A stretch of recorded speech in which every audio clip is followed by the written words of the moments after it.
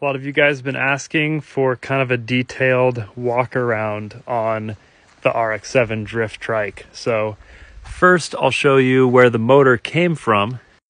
Our friend Will, who you'll start seeing him hum a lot on the YouTube uh, videos, he is going to LS swap the second gen RX-7.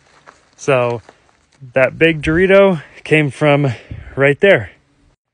The engine came in a box, all painted the weird orange colors you see, and our friend Sam assembled it on the channel.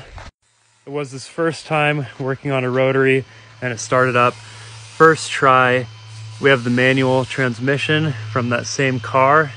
Mounts are kind of part of the frame structure, and the coolant also goes through the frame. Super sweet design.